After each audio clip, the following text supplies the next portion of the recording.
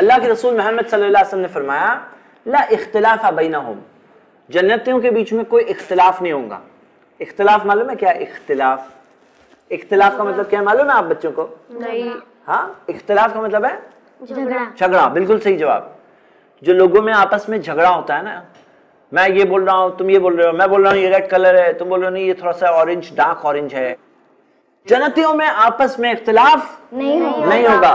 अच्छा लग रहा है इख्तिलाफ या बुरा लगता है? बुरा बुरा। तो जन्नत में होगा इख्तिलाफ? नहीं नहीं। होगा। ओके नबी सल्लल्लाहु अलैहि वसल्लम ने कहा वला तबागुद. एक दूसरे के लिए बुग्ज नहीं होगा बुग्ज। बुग्ज यानी कि दिल में बुराई होती है ना?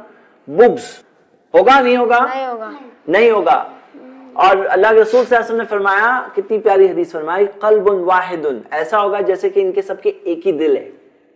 हाँ ऐसा होगा जैसे सबका एक ही एक ही दिल है।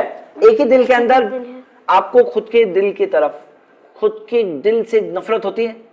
हाँ खुद के खुद के खुद के। एक ही दिल हो यानी कि सब चीज़ सबका मिला हुआ रहेगा मामला। कोई अन बन ऊंच नीच ये सब नहीं होगी। अच्छा लगेगा नहीं लगेगा? हाँ? और युसब्बिहून अल्लाह बुकरता वाशिया।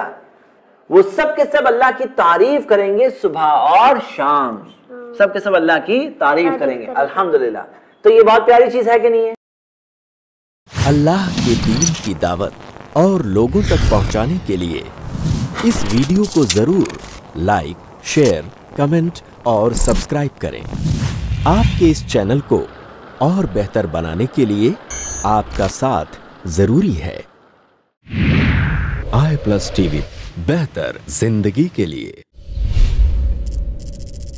अपने केबल या डीटीएच ऑपरेटर से आई प्लस टीवी आज ही डिमांड करें।